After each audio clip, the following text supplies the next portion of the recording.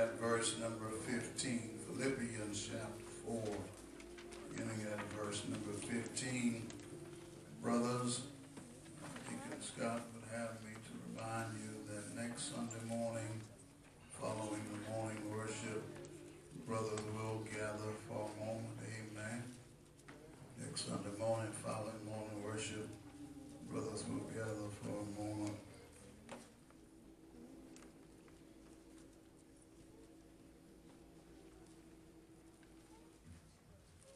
You're there, say amen. Now ye Philippians know also that in the beginning of the gospel, when I departed from Macedonia,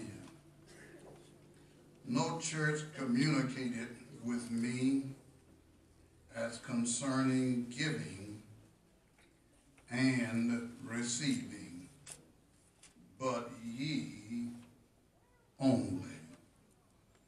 For even in Thessalonica ye sent once and again to my necessity. Not because I desire a gift, but I desire fruit that may abound to your account. But I have all and abound.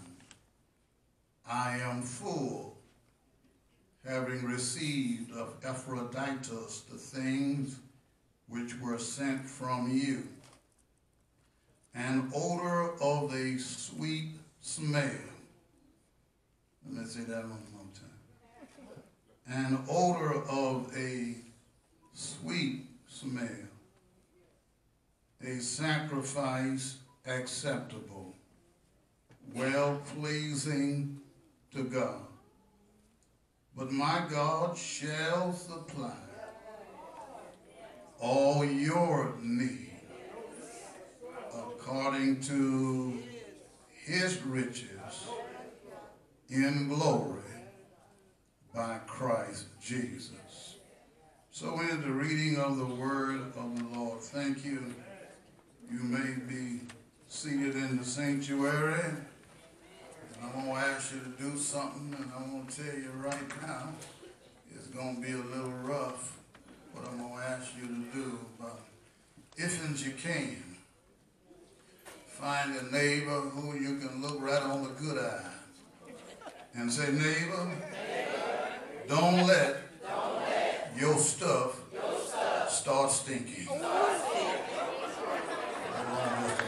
a neighbor on the other side. Go tell her, a different one. You got to look behind you, find another neighbor and say, neighbor, neighbor. don't let, your stuff start stinking.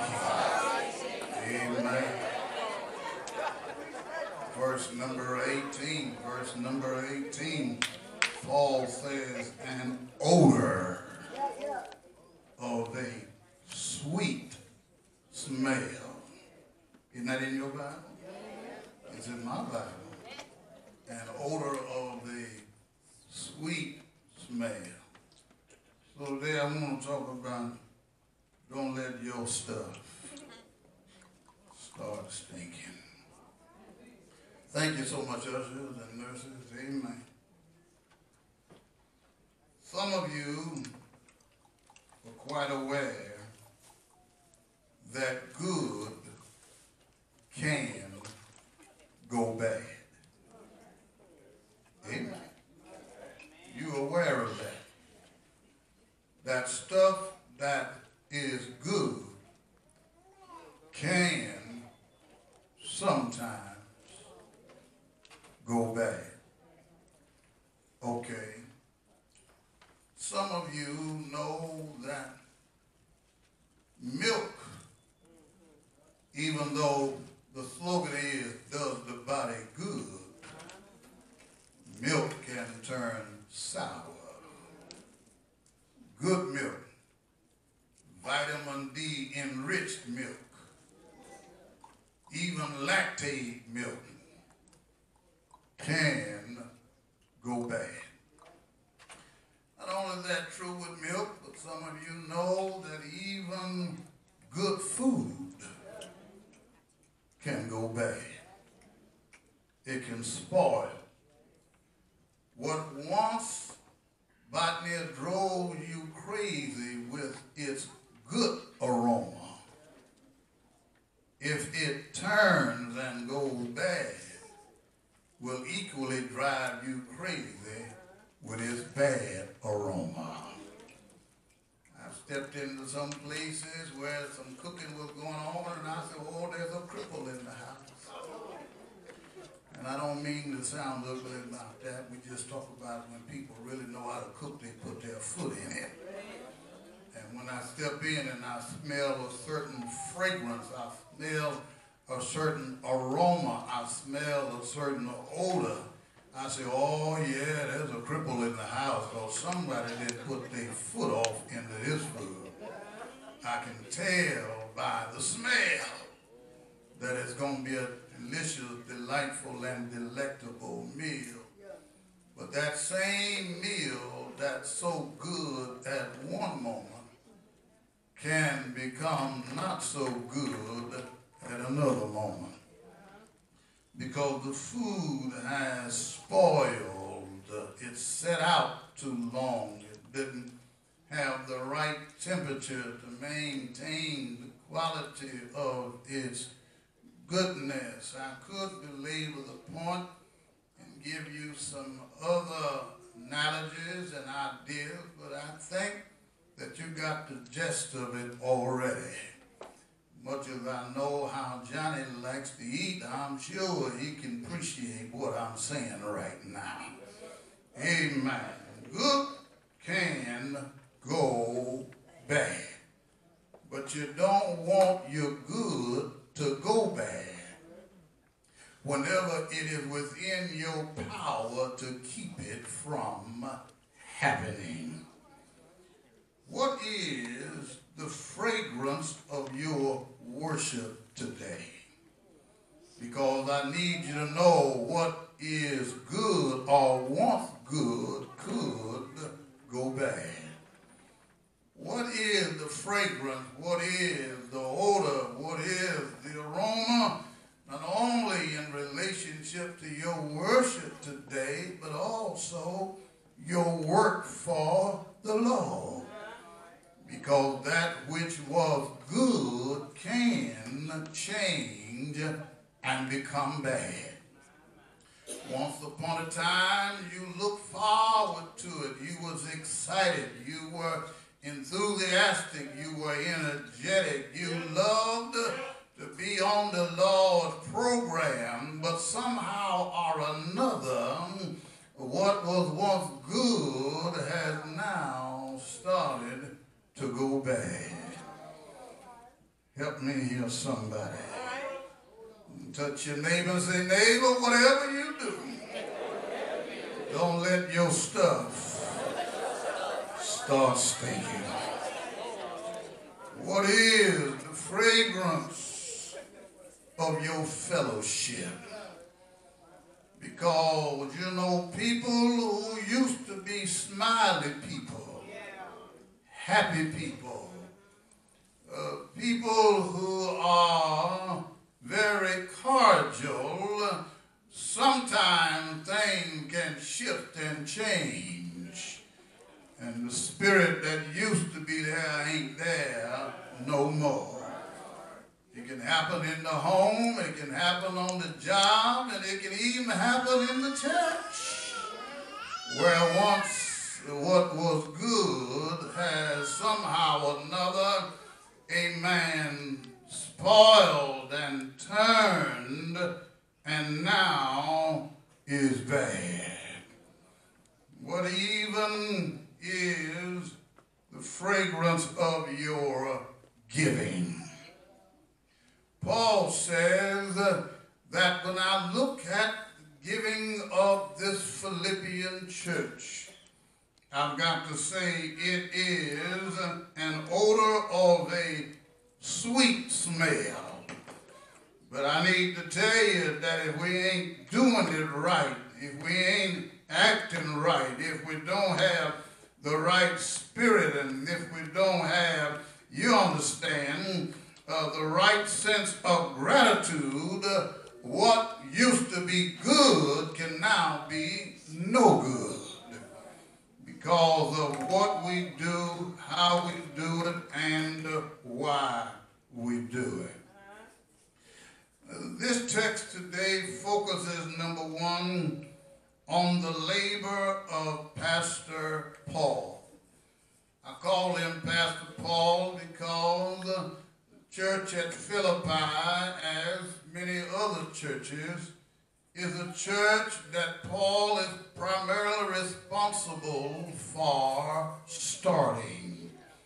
It is because of him and because of his ministry that there is an active congregation of Christian believers in the city of Philippi. You can't deal with the book of Philippians and the city of Philippi or the church at Philippi without looking at, first of all, the labors of Pastor Paul. Today, as I preach from this text, we understand that Paul is not teaching from the pulpit at the church in Philippi.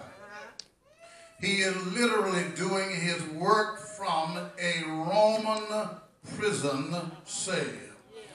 He's not in jail because he's committed some atrocious crime. He's not in jail because he was packing a concealed weapon. He's not in jail because he has a proliferate money from the local church congregation. He's not in jail because of income tax evasion. He's not in jail because of a whole lot of things that we could assign to criminals. He's simply in jail because he was true to his calling as a gospel preacher of Jesus Christ. Being the preacher that he is, he has found himself incarcerated by those who want to silence the gospel message. And for those who want to try to put Christianity on the back burner or no burner at all. They felt if we can imprison this preacher by the name of Paul, who got his calling and anointing on a road called Damascus. When the Lord met him and shone as a light brighter than the noonday sun, he fell from his beast and said, Lord, who art thou? And the Lord said unto him, I am Jesus whom thou persecutest. And so it is from that day forward when the Paul met the Lord and the Lord met up with Paul. He became the Lord's messenger. He became the Lord's servant. He became the Lord's preacher. And so my brothers and sisters, uh, we find the Apostle Paul a prisoner at Rome. This text helps us to know something about his affection, but not only about his affection, it helps us to know about his uh, affliction. And so it is today. Let me certain notice on you that when you are a shown up servant of the Lord, thank you, son, when you are a shown up servant of the Lord, there is a level of affection that is within you, but don't ever come to the conclusion that because you got so much love for God, so much love for what God has called you to do that you won't have no affliction. Hold on, let me push that button, get that rewind going. Don't ever conclude that because you love God and you love the work of God and you are living for God, that your life will be absent of affliction. Here is the Apostle Paul. If anybody loved Jesus, Paul did. If anybody knew the Lord, Paul knew him. If anybody had an experience that is unforgettable, Paul had one. But even though he had what he had, on the inside as well as on the outside, the Bible helps us to know that afflictions are also a part of the journey. You're going to have to go through a little something, something. Can I get somebody to help me preach this and just tap your neighbor real lightly? Say, neighbor, I got news for you. You're going to have to go through a little something, something. Don't think that just because you know how to sing, you know how to pray, you know how to teach, you know how to preach, you give your money with regularity, and you ain't cheap, you ain't no, help me, Lord Jesus, flea market giver. When it comes to the church, know this, that you still gonna have some trouble sometime. Paul is in prison in Rome in spite of his affections for the Lord, for the gospel, and for a Gentile world that the church at Philippi is uh, primarily made of. As I looked at the labor of Paul, I thought about the fact that his labor is what led him to the letter. And so it is, the book of Philippians is just another one of Paul's letter there are, I believe, 13 epistles. That means that there are 13 letters that Paul pens during the time of his earthly ministry. And it is in this letter, in this epistle, amen, to the church at Philippi, where Paul, according to the text, simply does, number one, he makes an acknowledgement. He acknowledges the fact that they have been a supportive church. He acknowledges the fact that they have been a sharing church. He acknowledges the fact that they have been a, a, sympathetic church. He acknowledges the fact that they make up a sincere group of believers. And so he gives us in this text, number one, just a general acknowledgement to them that in essence I know what you've been doing. And I know to the extent and the degree that you have been doing it.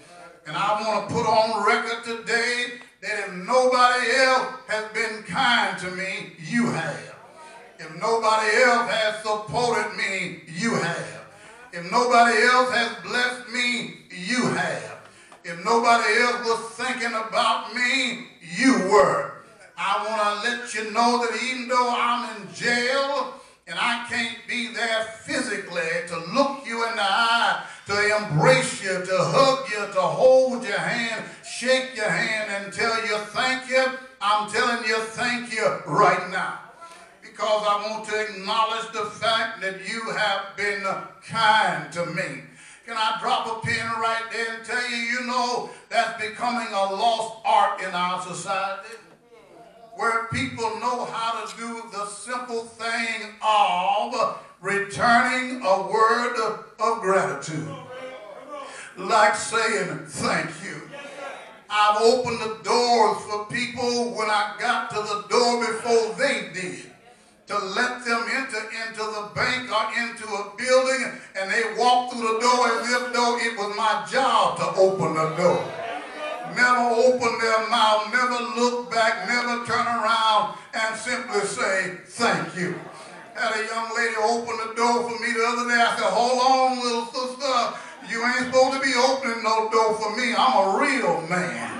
I'm supposed to be opening the door for you. I thank you for your thoughtfulness, but know if you ever see me again, I'm supposed to be opening the door for you because you are a lady. That's what chivalry is. Some of us don't even know what the word chivalry means. But chivalry is when a man act like a man and respect a woman for being a woman and does what he ought to do, even if when he does it, she don't say thank you. So it is, Paul simply acknowledges that gifts unto him when it seems as if though nobody else cared much about his ministry. His letter is an expression of appreciation. Here's what I like about it, if you will, young preachers who are around me this morning. What Paul writes is not an attempt to beg for more. Paul says, I'm writing this letter to you and when you listen to the way I'm writing it, I don't want you to get it confused or twisted. I'm not getting ready to say what I'm going to say because it's my feeble attempt to backdoor you and in some way to beg you to do more than what you've already been doing. Paul said it ain't about that. I'm not writing what I'm writing because my aim is to get more out of you, but I'm saying what I'm saying because my aim is to get more to you. I'm not trying to feather my nest. I'm not trying to foster my own welfare and well-being. I'm not preaching like I'm preaching because I'm trying to get you to do more for me than you done already done. What I'm trying to do is give you the truth of the word of God and tell you that you can't bless the man of God and God don't bless you. I wish I could reach back and grab a prophet from the Old Testament who went to the house of a widow who only had enough meal to make a little whole cake for her and her son. Have I got any Bible readers in here? And when he came there, he said, listen here, the Lord told me to and the Lord told me to tell you, because he already know what you got in the barrel. He told me to tell you, when you fix your food, feed me before you start eating. I know some of y'all already saying, that Negro must be crazy. All I got is just enough for me and my son, and he got the unmitigated gall and audacity to tell me to feed him first, knowing all we got is just a little bit of meal, enough to make a small little cake, and that's all we gonna make it on. And here's what he said, God told me to tell you to feed me first. That sounds so selfish, doesn't it? But what the prophet was trying to help her to understand is, I'm not here to get something from you. I'm here to bring something to you.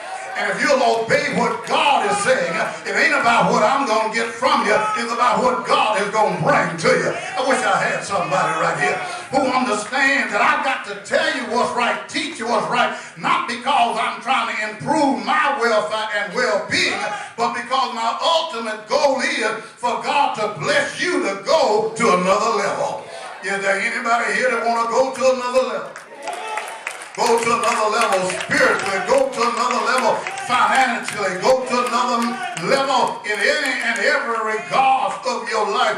When I stand, I don't stand because I'm trying to better me, but my goal is to better you. And when God betters you, guess what I believe? When God blesses you, you turn around and bless the one that God used to be a blessing And so it is, It's not an attempt in the letter for Paul to pump himself up in any type of financial and economic way. He says, let me tell you about the liberality I see in you, Philippians. Surely my labor, it speaks for itself. Surely the letter that I write today ought to speak well for itself. But I want to share something with you that I'm fully abreast of your liberality. Your liberality is a demonstration of your love. You can talk love, but you got to show love. Hold on, let me say that one more time. You can talk love any day, but you got to show love someday for love to really evidence itself as love. I know some of you looking at me right now know that it means something to you if the person that you are closely identified with, amen, loves you. But you don't want that to just be something in their mind. You want it to be something that comes out of their mouth as well as with their mannerisms.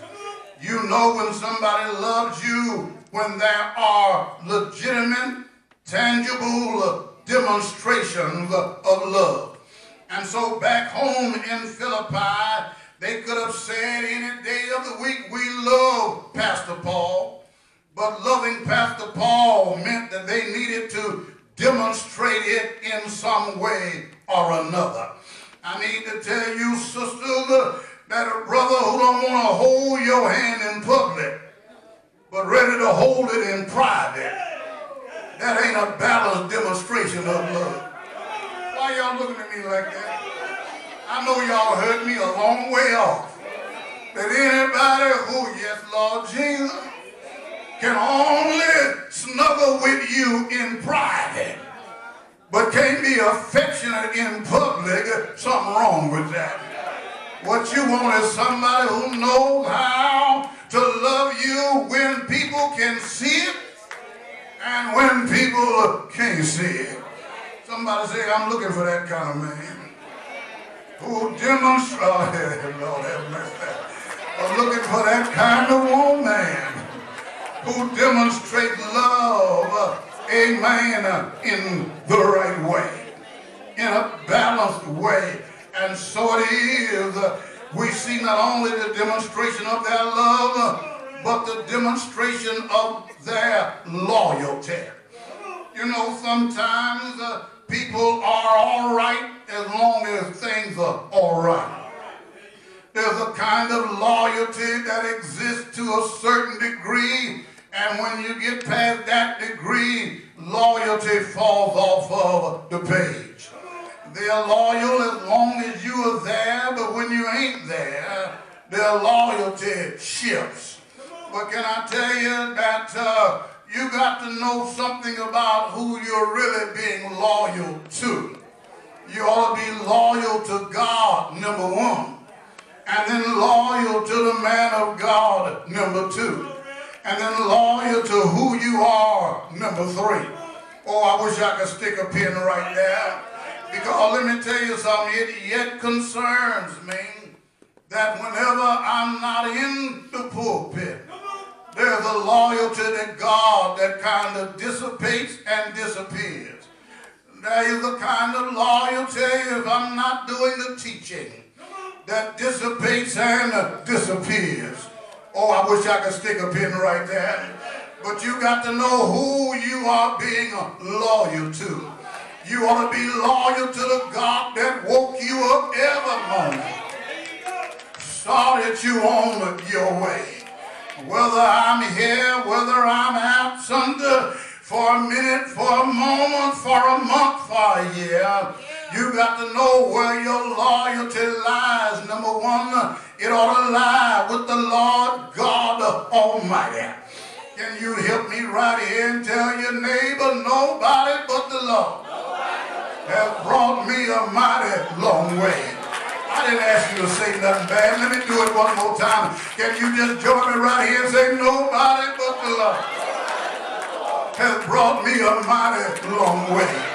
Thank God for my preacher. Thank God for my pastor. But if it had not been for the Lord who was on my side, I wish you could just get one hand up in the air and say, thank you, Jesus.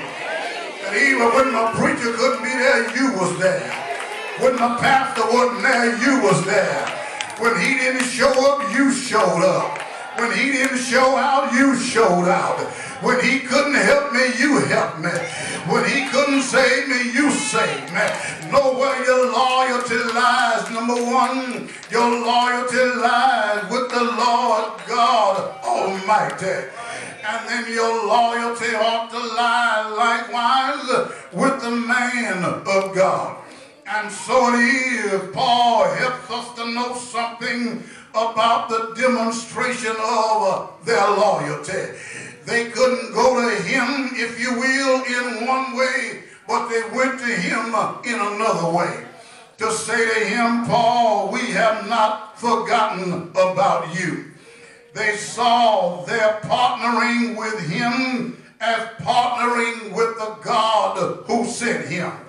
Let me rehearse that one more time. The reason why they demonstrated their love and their loyalty was because they saw their partnering with Pastor Paul as a means of partnering with the God who sent Paul in the first place. If God had not called him, he would not have called us.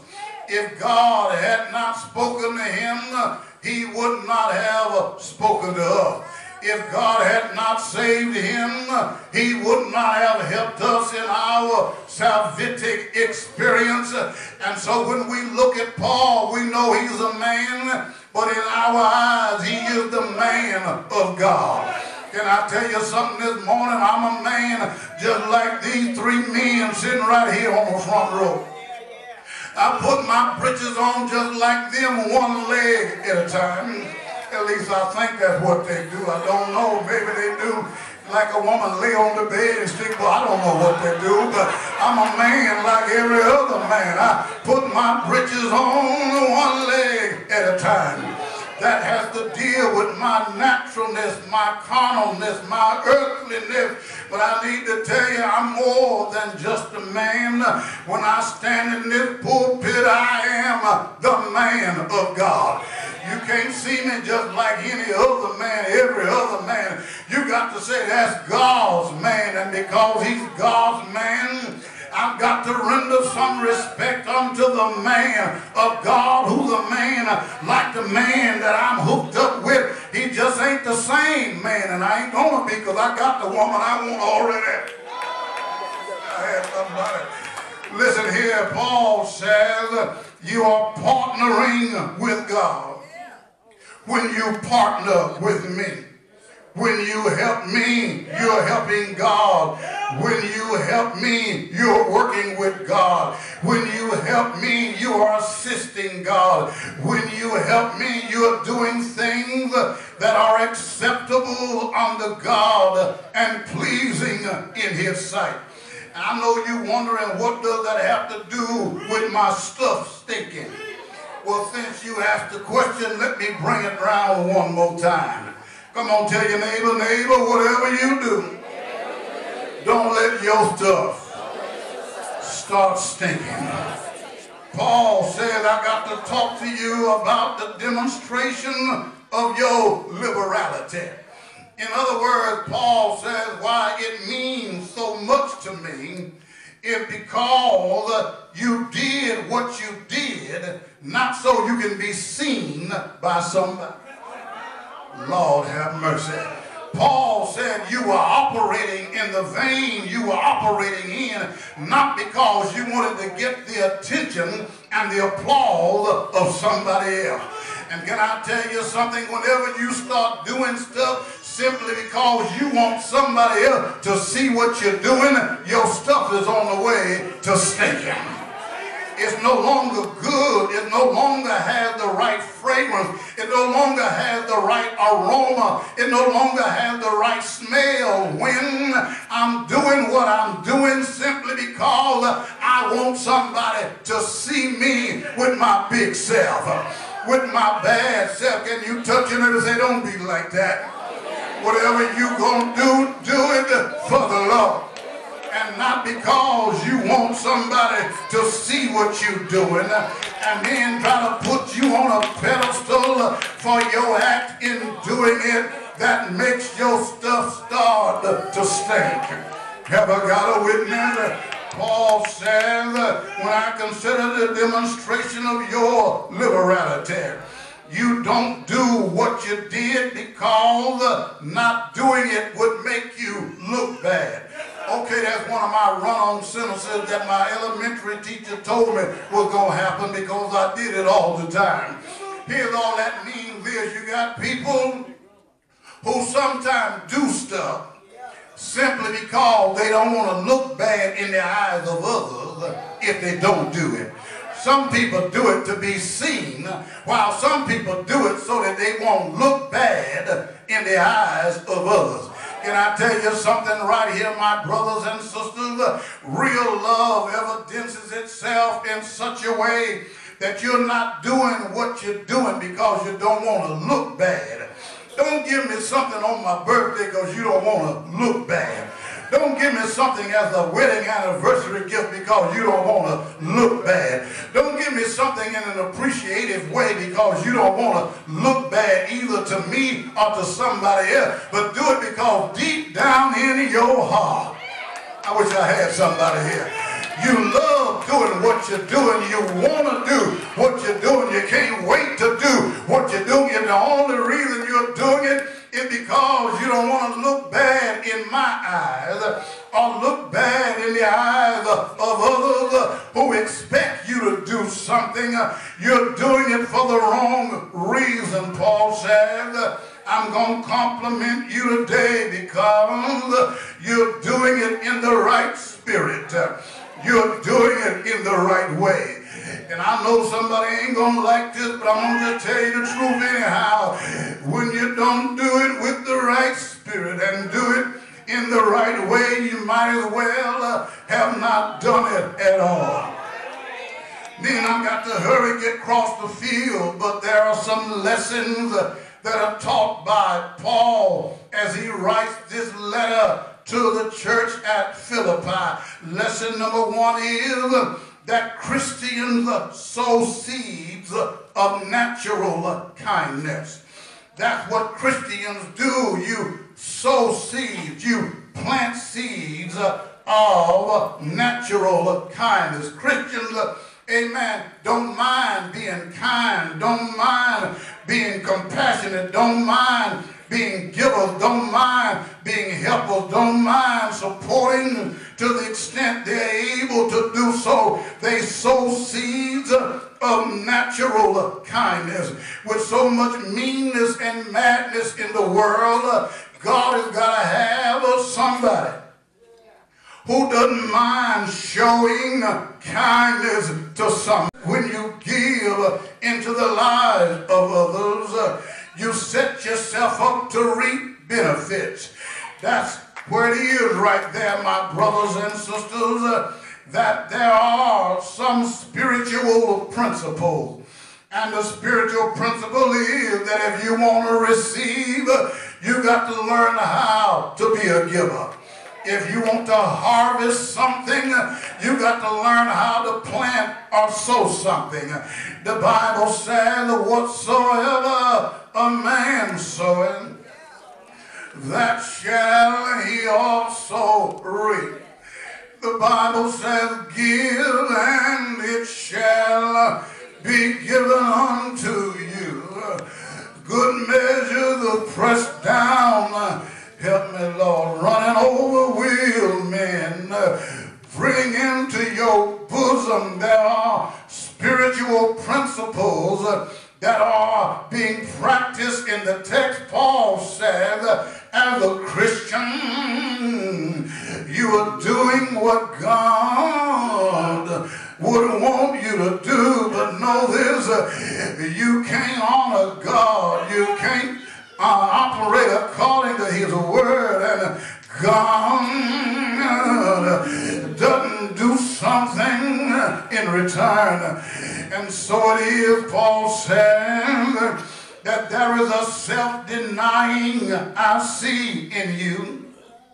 For the sake of the servant of God.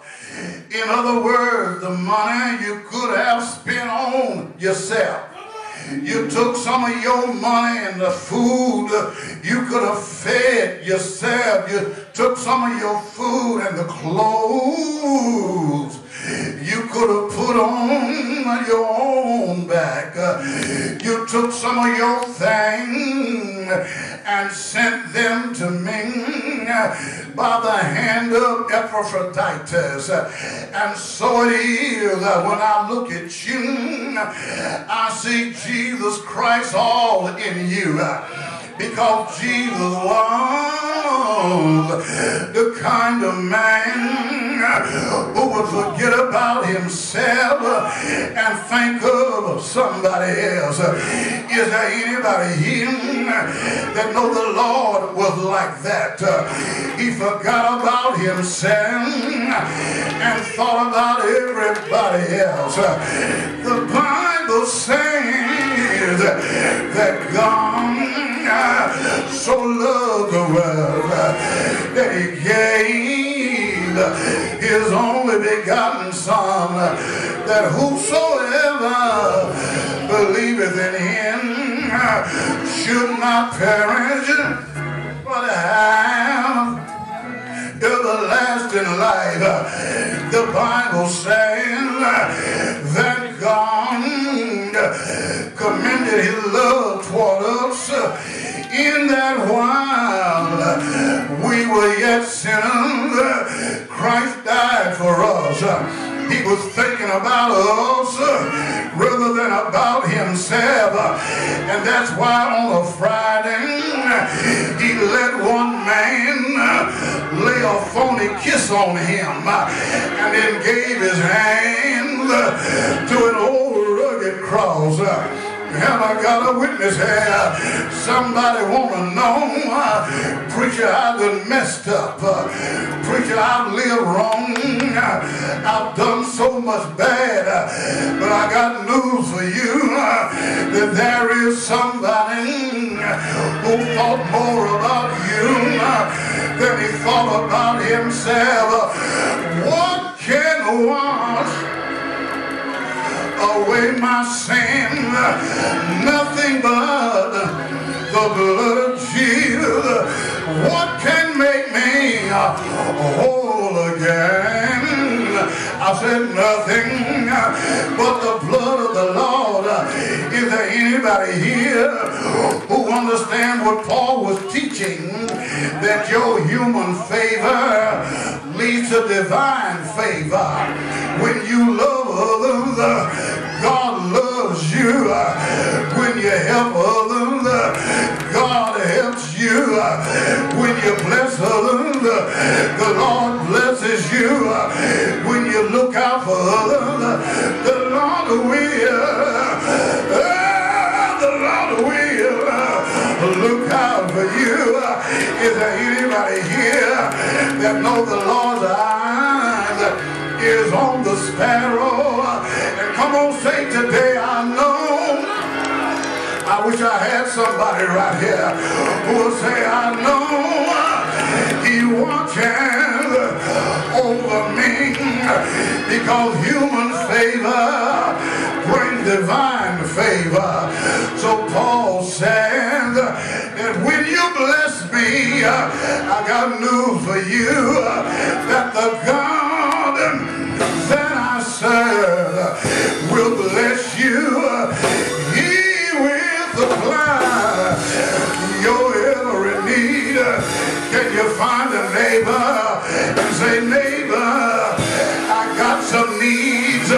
Don't fool me here this morning because everybody got a need for something. Somebody here has got a temporal need. You got an earthly need. You got a physical need. You got a need for things in this world. But Paul says, such a God who not only will supply your earthly needs, but he's able. He's able. He's able